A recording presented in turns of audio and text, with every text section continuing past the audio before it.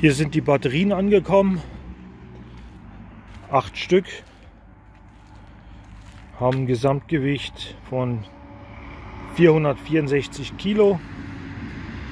Die schleife ich jetzt mal in den Keller. So habe ich die 55 Kilo Brüder in den Keller geschleppt. Das ist eine wahre Pracht und macht richtig Spaß. Das sind mal die Stahlschränke, wo ich die Akkus untergebracht habe. Zwei Stück für jeweils vier Akkus. Und zum Stahlschrank ist 1,95 Meter hoch, 92 breit und ich glaube 35 oder 37 Zentimeter tief. Die Stahlschränke sind offiziell nicht für die Elektrotechnik gedacht, sondern die sind als Aktenschrank deklariert.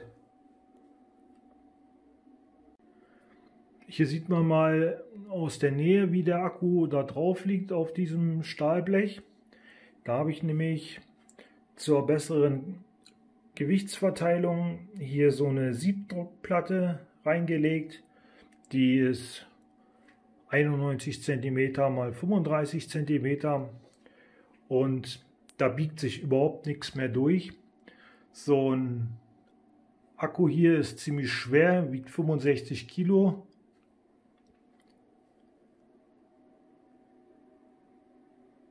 Und da ist es schon sinnvoll, wenn man das etwas verteilt. Das oberste Fach habe ich immer noch genutzt. Hier in diesem Fall ist destilliertes Wasser drin zum Warten der Akkus und da hinten links im Eck noch Säure. Und die andere Seite habe ich genutzt für die Dokumentation, die Rechnungen, alles habe ich da drin aufbewahrt und hier auf der rechten Seite hängt noch der kleine Laderegler für den für die Solaranlage vom Treppenabgang. Und da es ja ein Stahlschrank ist, bietet sich das an, eine Information, die man öfter braucht, kann man hier ganz wunderbar mit Magneten festpinnen. Hier sieht man, wie ich in den Stahlschrank reingegangen bin. Das sind so Einschraubstutzen. Hier auf dieser Seite sieht man die, schön die Gegenmutter. Die habe ich auch irgendwo im Internet gekauft. Gibt es ja wie Santa Meer, ist ja ein üblicher Elektrikerartikel. Vorne die beiden Kabel sind die Batteriekabel, die zum Wechselrichter führen. Und da hinten sind die Kabel kommen von dem kleinen Solarfeld bei mir am Kellerabgang, weil ja hier im Schrank der kleine Laderegler verbaut ist weil ich ja zwei Schränke verbinden muss, habe ich da einfach mal ein Loch eingebohrt, mit der Stichsäge die Sache viereckig gemacht und dann einmal ringsrum ein Kantenschutzprofil eingeklipst, weil ich muss ja auch an die Batterien im Nachbarschrank kommen.